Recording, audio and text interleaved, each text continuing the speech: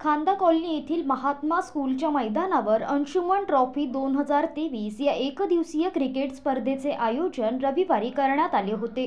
या स्पर्धेला पनवेल महापालिकेचे माजी सभागृह नेते परेश ठाकूर यांनी भेट देत शुभेच्छा दिल्या. तसेच येणाऱ्या काळातही अशाच प्रकारे कार्यक्रमांचे आयोजन करावे असे आवाहन केले आहे. अंशुमन ट्रॉफीचे भाजपचे खांदा कॉलनी शहर उपाध्यक्ष रमन तोरसकर यांच्या माध्यमातून आयोजन करण्यात आले होते. या स्पर्धेत खांदेश्वर पोलीस संघाने प्रथम क्रमांक तर स्वराज्य एम आय डी सी संघाने द्वितीय क्रमांक पटकविला आहे.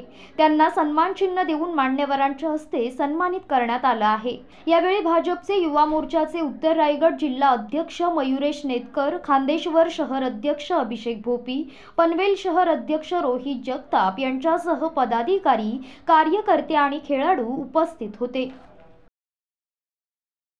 जी आहे ती आयोजित करण्यात आलेली आहे.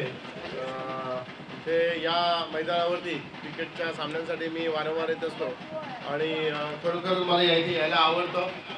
अभिषेक गोपी त्याचे सर्व सहकारी मग रोहित असेल आणखीन इतर सर्व त्यांचे जे सहकारी आहेत या इथं मनापासून या इथं क्रिकेट मॅचेस भरवत असतात.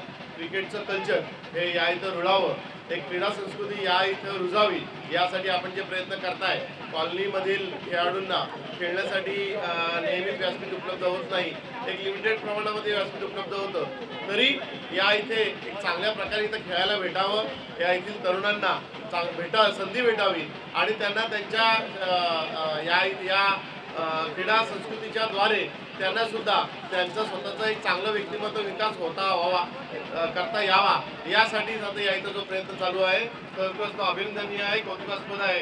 आपलं मी त्यासाठी या इथे अभिनंदन करतो. आणि पुढील काळ सुद्धा अशाच प्रकारे आपण सामने भरत राहावे अशी याच्यासाठी मी आपल्याला शुभेच्छा देतोच. पनवेल आणि नवी मुंबईच्या ताज्या घडामोडींसाठी मल्हार टीव्ही न्यूज सबस्क्राईब करा आणि बेल आयकॉन दाबून रहा अपडेट.